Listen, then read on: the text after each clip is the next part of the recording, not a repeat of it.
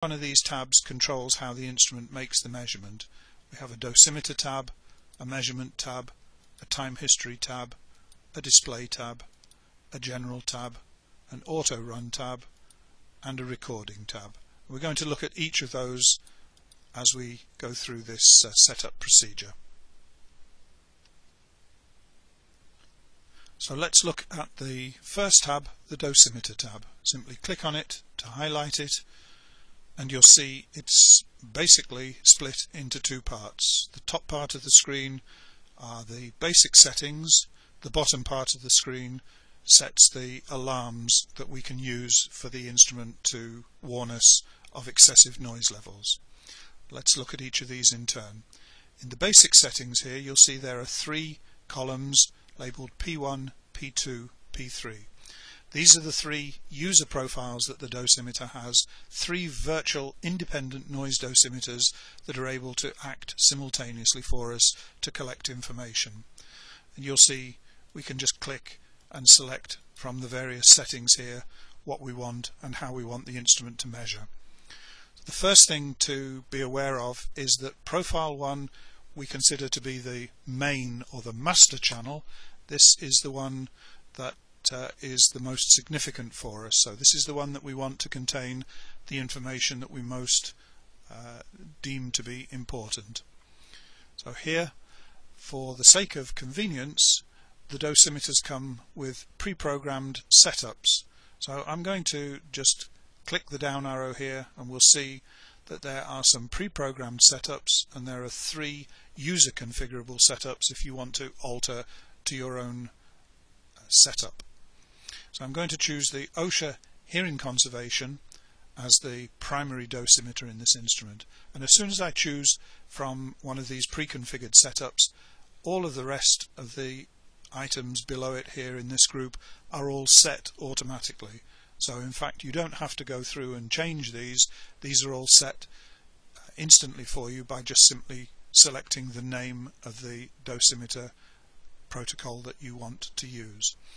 So in the OSHA hearing conservation we set the main filter to be the A filter for the dose and the time weighted average values. We set our peak filter to be the linear or the Z weighted filter. We choose our sound level meter detector to be slow, a 5 dB exchange rate. Our criterion level is set to 90. Our cutoff or threshold level is set to 80 and the upper limit threshold time is set to 115 dB. And we can do this for each of the three dosimeters. So in our second dosimeter, let's choose the other OSHA setting, the OSHA PEL, permitted exposure level, and that chooses A, Z, slow, 5, 90. These are all the same as the hearing conservation with one key difference.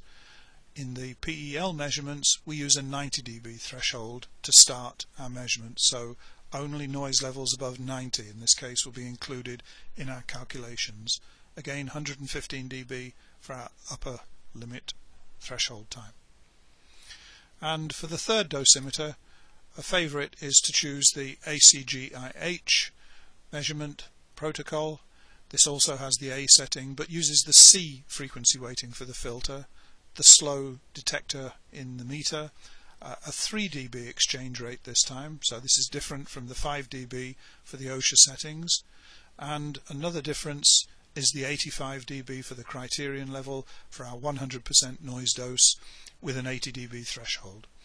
So this is how we simply select the basic settings for the instrument to make measurements uh, pretty much according to the OSHA regulations in North America.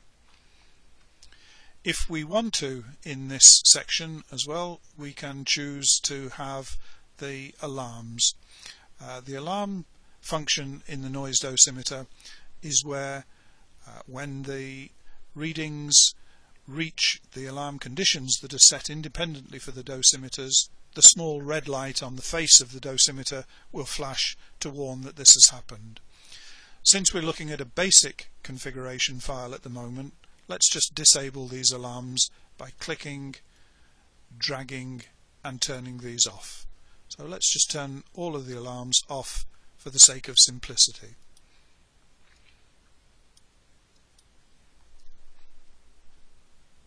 That's all the settings taken care of as far as the basic noise dosimeters are concerned. Once we've finished all of the settings of the dosimeter, the next tab is the measurement tab. In the measurement tab there's just one group of settings here and these control the function of the instrument, whether it operates as just a dosimeter collecting broadband results or whether we bring in the octave bands and make frequency analysis at the same time if we have that option fitted to our instrument. The second choice here sets the start delay, the amount of time between instructing the instrument to begin and the saving of the first results. Start synchronization has uh, a choice uh, set here to synchronize the recordings to the real-time clock in the noise dosimeter. So we can uh, collect information starting from these periods after an hour. Normally we would want that switched off so that we begin our measurements straight away. The integration period has uh, some choices here for us. The infinity choice at the moment means that the dosimeter will collect an overall set of results from the time that we press start to the time that we press stop, whether that's five minutes, three hours, or the whole shift. We'll end up with one run which will have all of the information in. An alternative to that is to set a time interval, for example one hour. We could set one hour and a repetition cycle of 8. In this case when we start our measurements the instrument will collect 8 separate one hour readings for us over the whole of our shift. If we want the measurement to occur for a fixed measurement time, this is a good way of doing it because when we have set this uh, recording this way, once we start it, it will automatically stop after this number of cycles at this integration period. So we don't have to be there in eight hours time to stop the recording. It will stop automatically. For the moment, let's just go back and choose the infinity setting and one repetition. So it's just going to do one single measurement. We want our integration for our LEQ to be on the linear setting. Our exposure time here allows us to tell the instrument what our nominal day's work shift time is.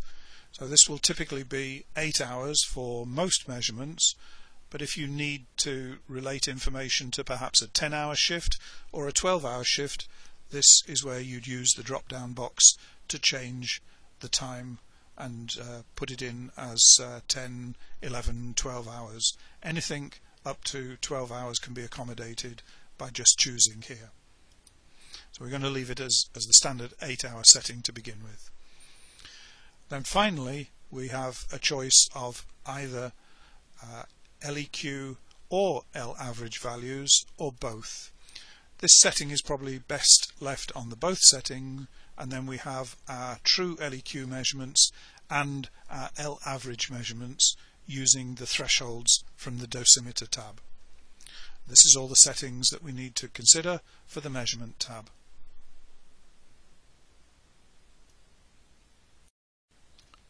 Once we've finished with the measurement tab we can go on to the next one which is the time history tab. So the time history tab is what controls the sampling of the instrument during the run to collect regular samples of information for us according to the settings here. So this is uh, split into two parts, the time history setup itself and the results that we're going to store for our time history profile. So let's look at this. We want the logging of these results to be on, so make sure that this is on. The logger step typically will start at one second, but can be any value from 100 milliseconds, 10 samples a second, right the way through to the longest sample is one hour. Uh, so uh, uh, we have a, a wide choice of sampling intervals here. One second is the most popular one to set so that's what we'll choose. In the logger name we can edit that for a particular reason if we want to use a particular file name to do our measurements, we can enter that here. The first measurement that we make will be called test. The second measurement that we make will be called test 1 and so on and so on with the instrument just incrementing the number after this main name that we've entered.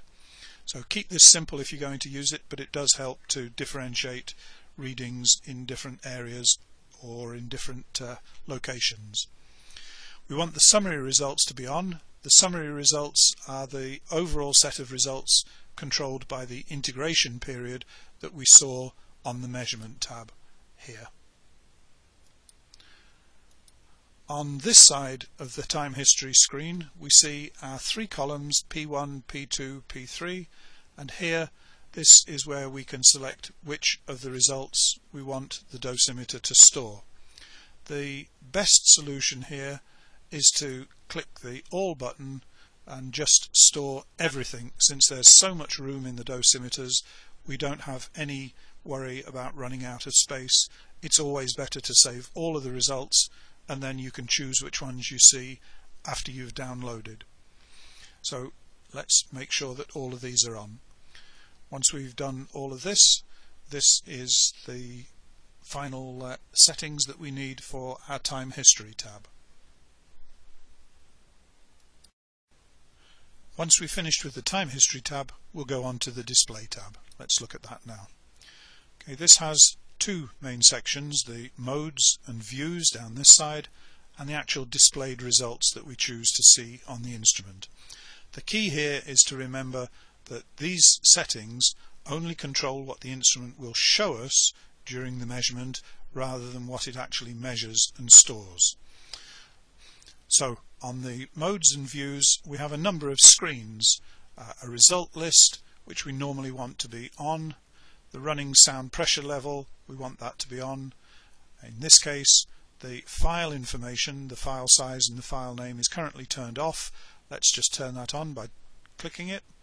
The instrument status here is the screen which shows us the battery condition and our likely remaining time. So that's always good to uh, select that to be on in the display profiles we have a check mark for profile 1, 2 and 3. Checking all of these makes the dosimeter operate uh, in three virtual modes at the same time. For simplicity it's possible to turn off two of these settings to reduce the dosimeter to a single dosimeter for absolute simplicity where it's just showing one set of answers. The recommendation here again is to leave all these three checked so that it's on for all three dosimeters during the run. The current view settings here allow us to choose what we'll see when we first look at the display. So the main view is the result with just one single parameter on the screen at a time. This is a good choice. Since we said that profile 1 is the most important uh, profile for us to look at, let's leave this choice as profile 1 as well. But it's also possible to select profile 1, 2 or 3 here. And then this chooses which result we will see when we look at the screen the first time. So perhaps a, a simple choice here is the instantaneous sound level, what the noise level is currently at the time we look at it as our beginning point for scrolling through the results. We have two further choices at the bottom on this side. The auto off selection on here means that after a period of inactivity on the keyboard the dosimeter screen will go off to save battery power. This is a good choice. The auto rotate choice here can be on or off that just simply means if the dosimeter has to be fixed to the worker such that the instrument is physically upside down, leaving this on rotates the screen so that it's possible to read it whether it's the right way up or upside down. Okay, going on to the displayed results themselves, we have quite a long list here. There are probably uh, over two dozen separate results that are available in the instrument as a result of all the different protocols for making noise dosimetry measurements that are current around the world. Simply go through the list and turn on or off the readings that you don't want to physically see during the measurement. It's probably a good idea to turn off all of the units that you don't recognize since if you don't recognize them the chances are they're probably not relevant to the task that you need to carry out. So let's turn off all of these and leave these values switched on. So you can see we've left the regular ones, the duration of the measurement, the peak level, the maximum level. We don't really need the minimum level. Sound pressure level is our instantaneous value. Our current noise dose, our projected noise dose for an 8 hour standard day and a projected dose if we've set the 10, 11 or 12 hour work shift. L average is the value with the threshold applied. LEQ is the true sound energy level with the 3 dB exchange rate. Down here the time weighted average is our normalized 8 hour value as required by OSHA for example and the projected time weighted average uses the exposure time for our longer work shift day, our 10 hour or 11 hour or 12 hour result. So these are the values that we want to be displayed on the screen when we come to uh, interrogate the meter during the day. Bear in mind it doesn't matter what values you select here, all of these values will be stored and saved in the results and you'll have access to them after download when you look at the results back in the data browser of Supervisor.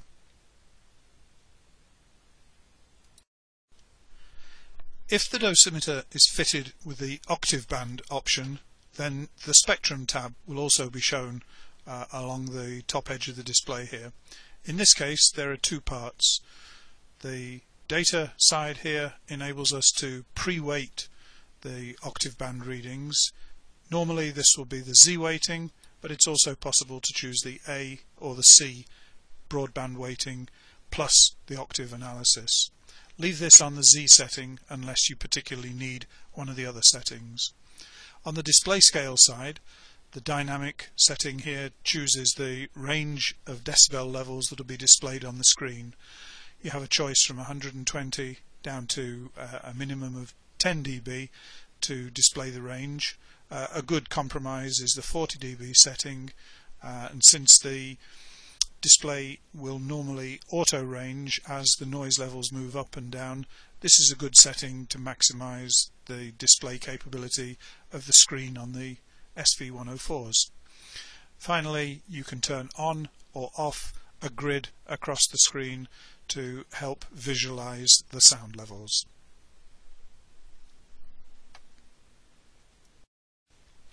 Once we've finished with the Display tab, we can go on to the General tab. Let's look at that now. There are four subsections in the General tab to do with the calibration, the measurement of statistical levels, the keyboard, and some auxiliary settings that we may need to consider. So let's look at these in turn.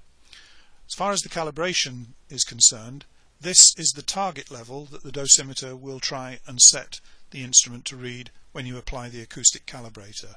The default value is 114 but if you're using a calibrator which has a different level 94 dB perhaps or 90 dB then just simply select it from the drop down list by choosing it from the values that you see here. This information would be taken from the calibration certificate of the calibrator enter that value here as the target level.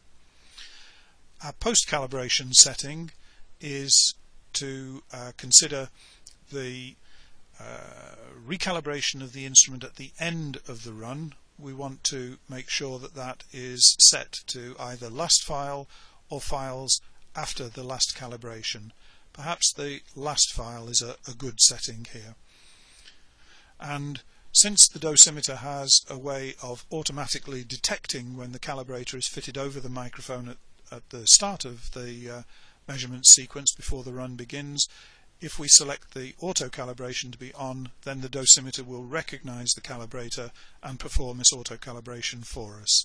So we need to make sure that that setting is on. In the statistical level groups, Unless you specifically want these LN percentile values, then these are the standard ones and pretty much can be ignored. On the keyboard section here, the most important one is the first one here, whether or not the instrument will be locked once the measurement begins. It's possible to lock the dosimeter as soon as the measurement starts by selecting this to be on. Now as soon as we start the measurement the dosimeter keypad will be locked and the person wearing the instrument won't be able to tamper with it. If you want to lock the dosimeter manually before you leave it and uh, go off then you can leave the setting here to be off. The typical suggestion here is to leave this one on to be sure that the keypad is locked as soon as the measurement begins. If the keypad is locked and you need to go back to the instrument then you need to have a way of unlocking it. So make sure that this is on and make a note of the sequence of keys that you choose to be the unlock code to get into the display and control the dosimeter anytime you want to. The standard default set is to press the down arrow, then the right arrow, then the enter key and then the down key. But this sequence can be changed if you need to. Finally, the auxiliary settings here are not desperately important, but they're here for your convenience. Uh, warnings, whether or not the logging has been disabled, uh, indicating a warning if you choose to turn the dosimeter off and didn't mean to, gives you a, a chance to change your mind. You can change the comment text file name if you wish to, uh, and you can add a label to the files that are going to be created here. So for example we could put voice comment. Bearing in mind the dosimeter also is able to monitor when it receives a bump or a knock during the measurement. This is where we would set the sensitivity of the unit. The default value is 8G. This can be changed if necessary to account for the variation in the way that uh, the worker might undertake their work during the day. Choose your operational screen language from the available ones shown here and at the end of the measurement when the dosimeter is stopped and you put it back in the case if you forget to turn it off immediately this is the time to automatic shutdown after five minutes of non-activity on the keypad of the unit. When it's not measuring it will automatically switch off to save batteries for you. These are all the settings in the general tab Once we've finished changing all the things that we want in the General tab, we can go on to the next one, which is the Auto Run tab. Uh, in the Auto Run tab, there's just two sections, either to set pauses during the day, during the measurement, if we know when these pauses are going to be for breaks in the morning or a lunchtime or an afternoon break, we can select them on and it's just simply a case of selecting the start of the break and the end of the break for each of these five potential pauses.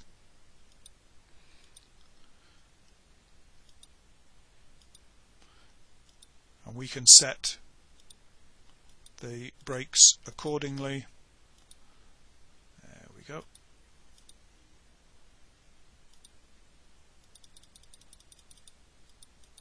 So we have uh, set now three breaks, one for the morning for a 20 minute period, one for lunchtime for a 30 minute period, and one in the afternoon again for just a, a short 10 minute period.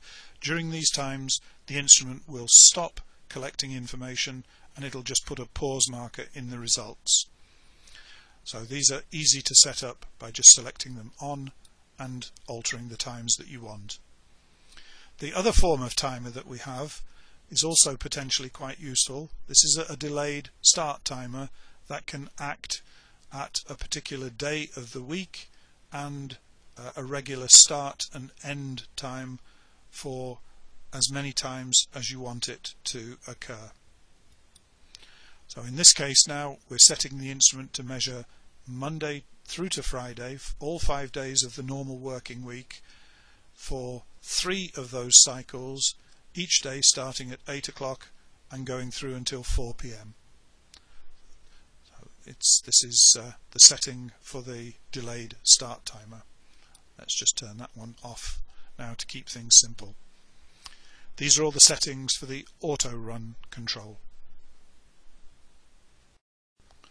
Once we've finished all of the settings to do with the auto run mode, the pause and the delayed start timer, our last tab is the recording tab. So let's look at this. For the dosimeters this is split into two slightly different ways of collecting the information. We can either perform event recording or we can perform wave recordings. These are mutually exclusive. If you turn one on you can't have the other one. The significant difference between them is that in the wave recording mode files are saved separately from the data logged regular noise dosimetry results. In the event recording the files that occur during the actual uh, noisy event that you configure are stored within the data logger file and can be viewed and seen while you're looking at the sound level readings uh, in the software afterwards. So unless you particularly want separate wave recordings, the best one to use is the event recording. The event recording is only available if you have the uh, audio recording option fitted to your noise dosimeter as this one does. So this one enables us to choose uh, any of these methods of triggering and uh, beginning the audio recording we can select a continuous recording with a pre-weighting filter and a sampling frequency. The higher the sampling frequency, the higher the quality of the recording. 12 kilohertz, the lower sampling frequency will give us longer recording time at the slight expense of quality, but certainly good enough to listen to and to be able to identify the events that occur. Rather than a continuous recording, which we really wouldn't want uh, unless we have a particular reason to have an 8 hour full audio recording. We would normally want to use uh, some form of trigger. So we have two methods of triggering either using a slope with with the sound level increasing or decreasing or triggering at a particular level again either positive or negative going. If we choose the slope trigger in the positive direction. First two choices are as we saw for the continuous recording, but now we get some extra choices here to be able to set the trigger level. Let's choose 90 dB since that's our 100% noise dose. And the trigger step is the interval at which the dosimeter will average out to detect the exceedance of this level we can have a pre-trigger. This is uh, a few seconds just before the trigger actually occurs so you know what was going on before the trigger occurred. And then we can set a time limit uh, either no limit at all once the trigger is exceeded until it falls below that level or we can set a fixed time interval perhaps 15 seconds worth of recording when the trigger conditions happen that's usually enough to be able to identify what happened to listen to whether it's a fan or a pump or a compressor or something that you weren't expecting. So these are the settings that are available for us in the recording tab. Once we've done all of this we've pretty much set everything that we need.